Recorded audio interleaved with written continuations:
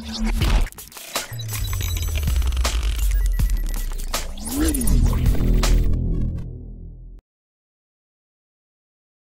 Friends sports பற்றின செய்திகளை உடனுக்குடனாக தெரிஞ்சுக்கொள்ள நம்ம தமிழ் கிரிக்கெட் சேனலை சப்ஸ்கிரைப் பண்ணுங்க. உலகக்கோப்பையானது நெருங்கி வந்துட்டு இருக்க இந்த நிலைமையில உலகக்கோப்பைக்கான இந்திய அணியில் எந்தெந்த வீரர்களை செலக்ட் பண்ணலாம் அப்படின்ற ஒரு பெரிய குழப்பம் வந்து ஏற்படுத்தியிருக்கு. ஏன் அப்படின்னா நிறைய வீரர்கள் வந்து தொடர்ந்து நிலையான ஆட்டத்தை வந்து வெளிப்படுத்துறது இல்லை. ஒரு சில ஆட்டத்தில் ஒழுங்காக விளையாடுறாங்க ஒரு சில ஆட்டத்தில் அவங்க வந்து ஒரு முழு திறமையை வெளிப்படுத்த முடியாமல் போயிடுறாங்க. அதனால் அவங்க பேரை வந்து நிறைய விமர்சனங்கள் வந்து வைக்கப்படுகிறது. அந்த மாதிரி நேரத்தில் அவங்க வந்து உலகக்கோப்பைக்கான இந்திய அணியை செலக்ட் பண்ணுறது வந்து ஒரு கஷ்டமான விஷயமாகவும் போயிடுது.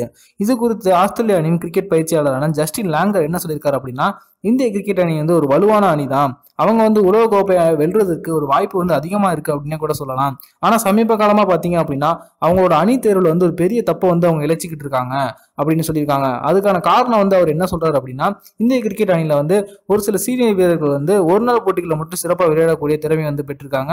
அதே போல ஒரு சில இளம் வீரர்கள் வந்து டி டுவெண்ட்டி போட்டிகளில் மட்டும் சிறப்பாக விளையாடக்கூடிய அனுபவத்தை வந்து பெற்றிருக்காங்க. ஆனால் அவங்க வந்து ஒரு சில போட்டிகளை மட்டுமே இந்திய அணி வந்து கணக்கில் எடுத்துக்கிட்டு இந்த இளம் வீரர்களுக்கு வந்து ஒரு நாள் போட்டிகளில் வாய்ப்பு கொடுத்துட்றாங்க அது வந்து இந்திய அணிக்கு வந்து ஒரு பெரிய பின்னடைவை வந்து ஏற்படுத்துது அப்படின்னு சொல்லியிருக்காங்க.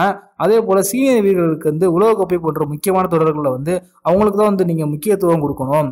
தொடர்ந்து பல நாட்களாக ஒரு நாள் போட்டிகளில் விளையாண்டுட்டு இருக்கவங்க மட்டும்தான் நீங்கள் வந்து அதிகமான வாய்ப்பு கொடுக்கணும். இளம் வீரர்களுக்கு நீங்கள் மாற்றி மாற்றி வாய்ப்பு கொடுக்கறதுனால அவங்க வந்து ஒரு நிலையான ஆட்டத்தையும் வெளிப்படுத்த முடியல. அவங்கள வந்து நீங்கள் உலகக்கோப்பைக்கு வந்து தயார்படுத்தவும் முடியாது அப்படின்னு சொல்லியிருக்காங்க. ஆஸ்திரேலிய அணியோட பயிற்சியாளர் எதை மனசில் வச்சு இப்படி சொல்லியிருக்காரு அப்படின்னா அவர் உலகக்கோப்பைக்கான இந்திய அணியில் பார்த்தீங்க அப்படின்னா தினேஷ் கார்த்திக் ரவீந்திர ஜடேஜா அஸ்வின் இவங்கெல்லாம் வந்து டீமில் இருக்கணும் அப்படிங்கிறத வந்து தான் சொல்லியிருக்காரு. மேலும் அவர் என்ன சொல்லியிருக்காரு அப்படின்னா இரண்டாயிரத்தி பதினொன்றாம் ஆண்டு இந்திய அணி உலகக்கோப்பையை வெல்லும்போது பார்த்தீங்க அப்படின்னா நிறைய சீனியர் வீரர்கள் தான் வந்து அணியில் இடம் பிடிச்சிருந்தாங்க. அவங்க வந்து ரொம்ப நாளாகவே இந்திய அணியில் தொடர்ந்து விளையாடிக்கிட்டு இருந்தவங்க.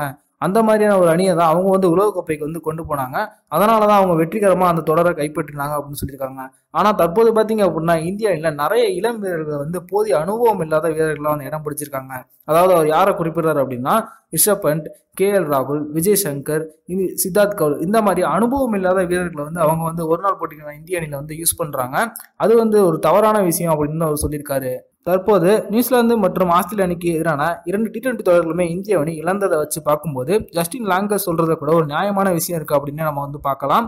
இதை வந்து விராட் கோலி மற்றும் இந்திய அணியின் பயிற்சியாளர் ரவி சாஸ்திரி மற்றும் பிசிசிஐ வந்து கணக்கில் எடுத்துக்குவாங்களா அப்படிங்கிறத நம்ம பொறுத்து இருந்து பார்ப்போம். இந்த வீடியோ உங்களுக்கு பிடிச்சிருந்துச்சுன்னா லைக் பண்ணுங்க ஷேர் பண்ணுங்க. நன்றி.